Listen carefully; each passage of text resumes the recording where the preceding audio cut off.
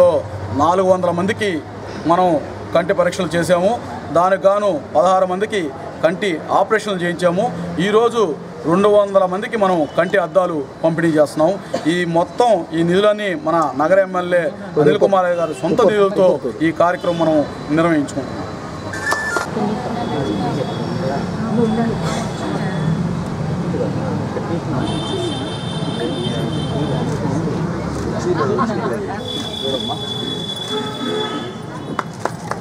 okay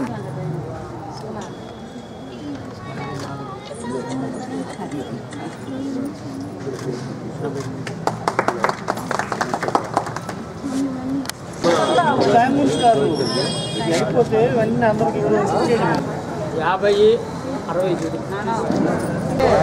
P రమ పి రమ